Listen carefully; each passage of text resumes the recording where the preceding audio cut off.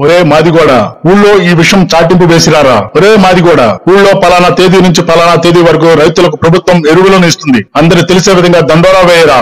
అని ఊరు పెద్ద చెప్పంగానే అలాగే దొర అలాగే ఆసాం గారు అంటూ ఊరందరికీ చెప్పులు కుట్టే మాదిగ సోదరునికి కాళ్ళకు చెప్పులు లేక కనీసం సరైన చొక్కా కూడా లేకుండానే ఆ గ్రామం మొత్తం వినిపించేటట్లు గొంతు అరిగిపోయేలా డప్పు పగిలిపోయేలా ఇందు మూలంగా గ్రామ ప్రజలందరికీ తెలియజేసేది ఏమనగా అంటూ దండోరా వేస్తూ తరతరాలుగా ముత్తాత తాత తండ్రి నాలుగు రోడ్ల కూడలలోనో బస్టాండ్ ముందటనో ఏదో ఒక మూలన ఒక చిన్న రాయి చిరిగిపోయిన కంతలు పడిన గొడుగు ఒక చిన్న రేకు ముక్కతో వచ్చి పోయే వాళ్ళ చెప్పుల వంక ఆశగా చూస్తూ తెగిపోవే చెప్పు మా తల్లి.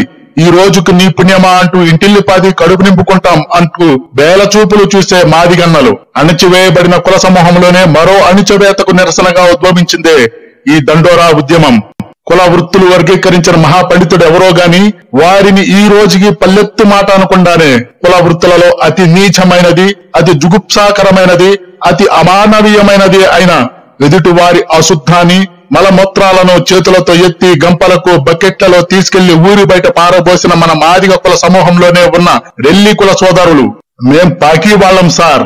మమ్మల్ని ఎవరూ అంటుకోరు సార్.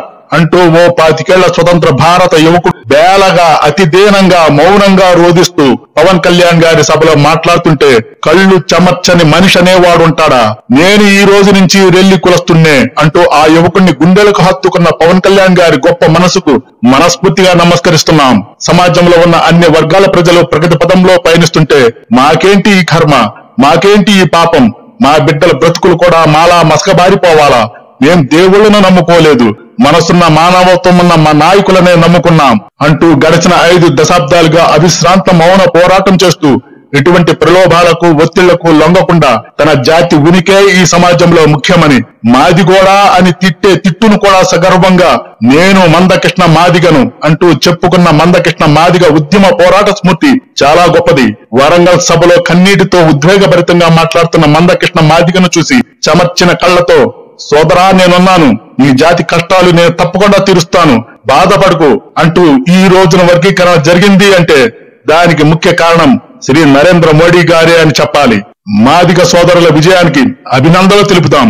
ప్రస్తుతానికి కులపరంగా రిజర్వేషన్లు సరే. ముందు ముందు ఈ విధానం దేశ ప్రగతికి పెనుముప్పుగా పరిణించవచ్చు. కొన్ని వర్గాలలో అసహనం పెరగవచ్చు. ఆ కోణంలో కూడా మన నాయకులు మంచి ఆలోచన చేస్తే చాలా మంచిది.